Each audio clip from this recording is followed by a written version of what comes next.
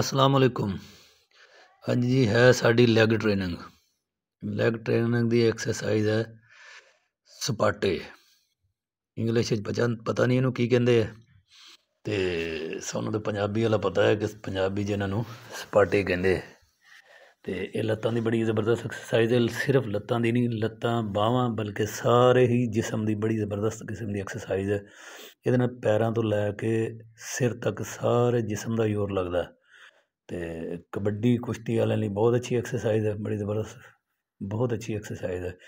ਇਹਦਾ ਥੋੜ੍ਹਾ ਜਿਹਾ ਤਰੀਕਾ ਹੈ ਕਿ ਜਿਹੜੇ ਬੰਦੇ ਨੇ ਨਾ ਥੋੜ੍ਹੇ ਏਜ 'ਚ ਪੈਂਤੀ ਤੋਂ ਉੱਤੇ, ਵਜ਼ਨ ਜ਼ਿਆਦਾ ਨੇ, ਇਹ ਹੁਣ ਅੱਗੇ ਨਾ ਉਹਨਾਂ ਦੀ ਮੈਂ ਦੱਸ ਰਿਹਾ ਵੀ ਉਹ ਉਹ ਉਹਨਾਂ ਨੇ ਕਿਵੇਂ ਲਾਣੇ ਨੇ, ਕਿਉਂਕਿ ਇਹਦਾ, ਇਹਦੇ ਵਿੱਚ ਇੰਝ ਜਿਵੇਂ ਪਹਿਲੇ ਲਾ ਰਿਹਾ ਸੀ, ਇਵੇਂ ਜ਼ਰਾ ਗੋਡਿਆਂ ਦੇ ਪ੍ਰੈਸ਼ਰ ਜ਼ਿਆਦਾ ਹੁੰਦਾ, ਇਹਦੇ 'ਚ ਇਹ ਪੂਰਾ ਥੱਲੇ ਬਹਿਣਾ ਨਹੀਂ, ਇੰਝ ਨਹੀਂ ਬਹਿਣਾ ਜਿਵੇਂ ਬੈਠਾ, ਇਹ ਇੱਥੇ ਇੱਥੇ ਰੁਕਣਾ, ਇੱਥੋਂ ਹੀ ਥੱਲੇ ਜਾਣਾ ਅਤੇ ਇਹ ਇੱਥੋਂ ਹੀ ਉੱਤੇ ਆ ਜਾਣਾ ਇਹ ਇਸ ਤਰ੍ਹਾਂ।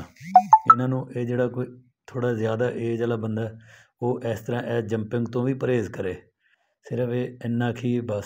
ਇਹ ਇੱਥੇ ਇਹ ਇੱਥੇ ਹੀ ਉੱਠ ਜਾਣਾ। ਅਤੇ ਇੱਥੇ ਲਾ ਕੇ ਇੰਝ, ਇਹ, ਇੱਥੇ ਲਾ ਕੇ ਇਸ ਤਰੀਕੇ ਉੱਠ ਜਾਣਾ। ਇਹਦੇ ਨਾਲ ਬਾਹਾਂ ਸ਼ੋਲਡਰ ਹੈ ਨਹੀਂ, ਸਾਰੇ ਹੀ ਜਿਸਮ ਦੀ ਬੜੀ ਜ਼ਬਰਦਸਤ ਐਕਸਰਸਾਈਜ਼ ਹੈ। ਇਹ ਥੋੜ੍ਹੇ ਜ਼ਿਆਦਾ ਵਜ਼ਨ ਵਾਲੇ ਅਤੇ ਪੈਂਤੀ ਤੋਂ ਉੱਤੇ ਵਾਲੇ ਬੰਦੇ ਲਈ ਨਾ ਨੌਜਵਾਨਾਂ ਲਈ ਇਹ ਐਕਸਰਸਾਈਜ਼ ਹੈ ਇਹ, ਇਸ ਤਰੀਕੇ ਨਾਲ ਕਰਨੀ ਹੈ। ਅਤੇ ਜਵਾਨ ਆਦਮੀ ਹੈ ਜਿਹੜਾ ਯੰਗ ਬੰਦਾ, ਉਹ ਜਿਵੇਂ ਮਰਜ਼ੀ ਲਾਈ ਰੱਖੇ, ਉਹਦਾ ਕੋਈ